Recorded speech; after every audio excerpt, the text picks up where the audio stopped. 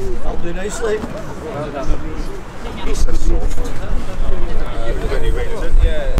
No, that's good. That's right. Yeah, yeah. Well, the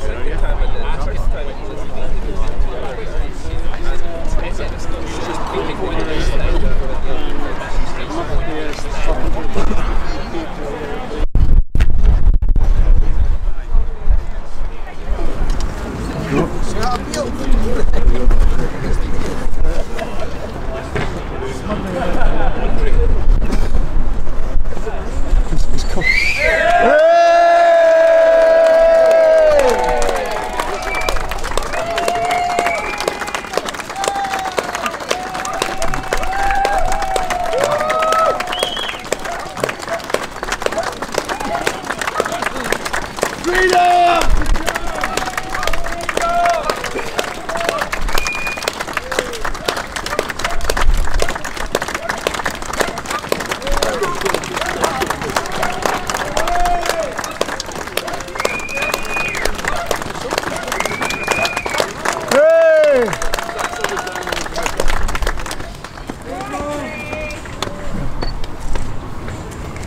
Hello everyone. Hey!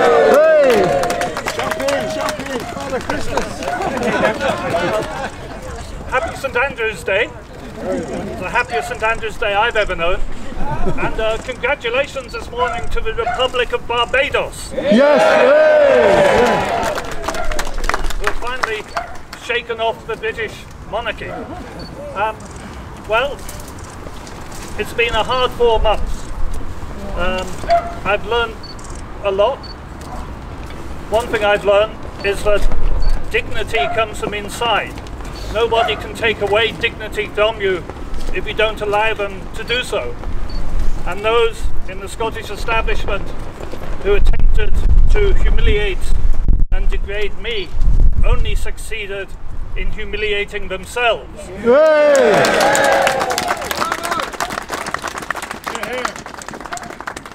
and sadly in, in bringing shame upon Scotland internationally.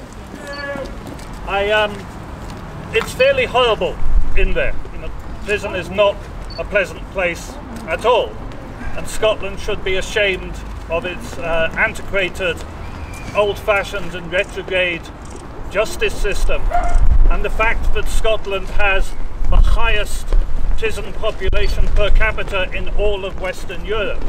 And I'm going to say a little bit more about that in a few minutes. But first, I want to thank everyone for their support. I should say that having uh, my wonderful family, my wife Adele,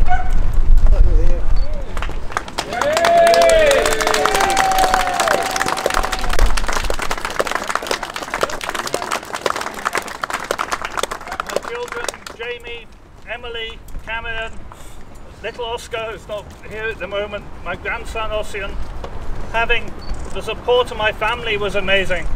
Having the support of you wonderful people kept me going through it. And I should say that more than 2,000 people wrote to me in jail to say they didn't think I should be there. More than 2,000 people. Excellent. And I might add that although I today am delighted to be free, I shall never really feel free until my friend is also. Hey!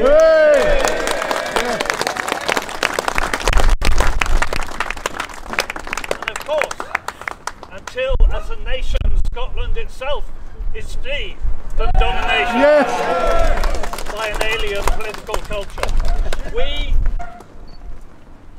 have to fight this judgment that put me in. I am out and I am free.